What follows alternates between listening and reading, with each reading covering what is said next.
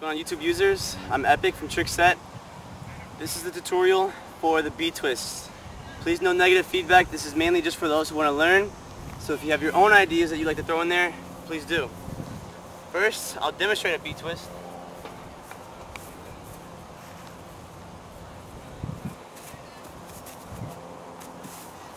There. Now, the butterfly twist obviously evolved from the butterfly kick, which looks like here, Big kick. like that. All it is is just that with a twist. Now, if you haven't watched my B kick tutorial, or if you haven't watched any B kick tutorial or butterfly kick, make sure you watch that because the concept is still the same, you just add a twist. But I'll break it down anyways.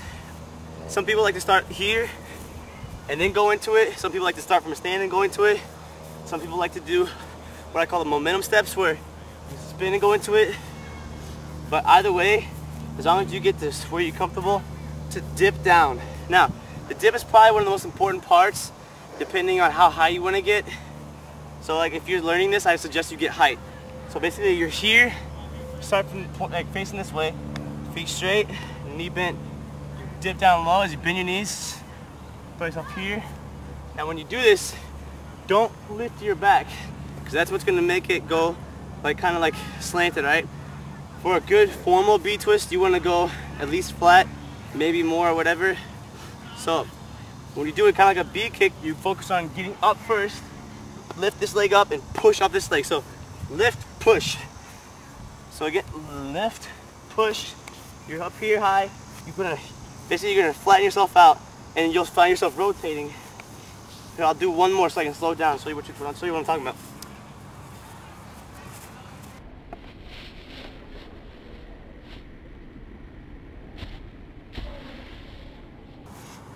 Okay?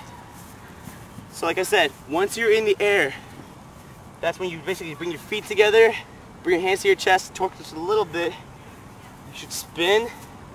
And when you see the ground, if you're high enough, you'll see the ground. And some people will land like here. When they're first starting, some people will land where they plant this foot out and come down. Um, one easy way to think of the B-twist is off a tornado from a stand.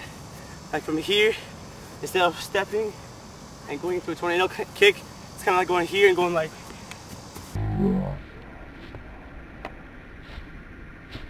like that, but where you slanted and you add the dip.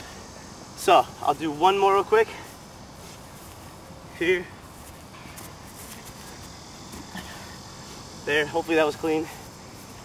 Um, see, any more pointers? Um, to get the spin, a lot of people will find themselves not spinning enough and they'll be falling down here or they'll try to stand up too soon. And what that does is they'll be here and they'll try and stand up like here about or whatever and they'll end up landing like about here. To stop that, you really need to focus on your legs. You really gotta lift that one leg and push off the other one. So when you lift, push, I guess kind of arch your back. Doesn't matter, it depends on how you do it. So lift, push in the air, horizontal, straighten your body out. You should twist, spot your landing as you're coming around, plant that foot, come down with a kick for cleanness or just come down where you land. If you play capoeira, you'll probably just come out and then go into the ginga. Now, if uh, this tutorial hasn't helped you so far, or if you're still having problems, instead of asking me or someone else, pay attention to what you're doing wrong. If you're landing on the ground too soon, you're obviously not getting enough height.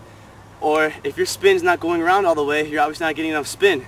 So ask yourself, how would you, how would you fix that? How would you make yourself spin faster, get higher, or how would you fix whatever problem that you have? And then think of ways to do that where you can master that better and then try that, try different things out, all right? But if you still have a problem, of course, you can still ask me or anybody else who you know who can do a B-twist. And uh, I'll do one more for you guys.